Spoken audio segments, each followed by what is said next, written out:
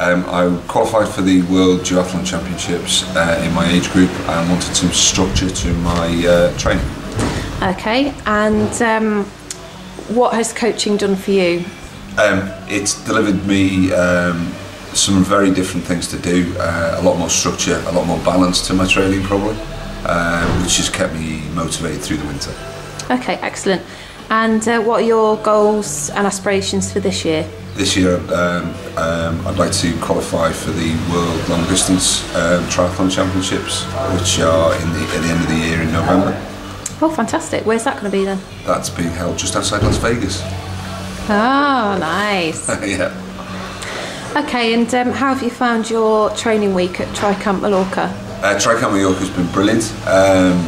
We've been blessed with uh, great weather. Um, the cycling has been brilliant, and that was my my, my major uh, goal was to get a lot of cycling miles in, and I've certainly done that. So it's been good. Okay, what else have you enjoyed whilst you've been here? Um, being treated like a uh, professional athlete, coming home, being fed, going to bed, getting up, training, feeding, eating, sleeping, more or less, Excellent. having it So, on tap. would you uh, would you come back?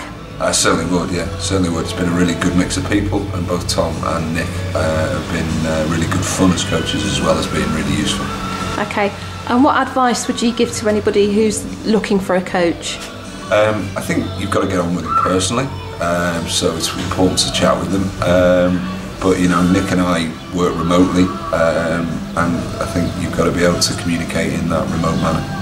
Okay, and what made you choose Nick in particular to be your coach? Um, well, he's certainly got a good reputation, uh, and I'm quite fortunate. I knew him through uh, through swimming at Virgin uh, in Nottingham, so uh, I knew a little bit about him, um, and I think you know we get on, so that helped.